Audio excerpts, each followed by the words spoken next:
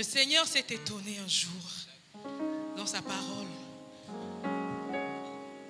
dans le livre de Malachie, en parlant aux enfants d'Israël, qu'il appelait la prunelle des yeux de ses yeux. Il s'étonnait de ce qu'en l'appelant Seigneur, il ne voyait pas l'honneur qui était dû à un Seigneur. En l'appelant Maître, il ne voyait pas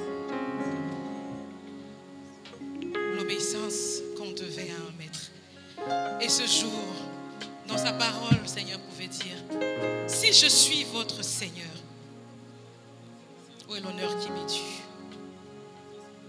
Et au fil des Écritures, le Seigneur est revenu à plusieurs reprises vers son peuple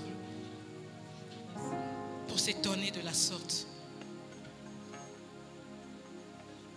Vous m'appelez Seigneur et pourtant vos œuvres disent le contraire. Règne vienne, Seigneur. Voilà la prière que notre Seigneur Jésus nous a apprise. Que ta volonté soit faite sur la terre comme elle est en train d'être faite dans les cieux. Gloire à Dieu. Que le règne de notre Seigneur Jésus-Christ vienne dans l'Église. Que son règne vienne dans nos cœurs. Que son règne vienne parmi nous. Et qu'à travers nous, le monde voit comment on honore un Dieu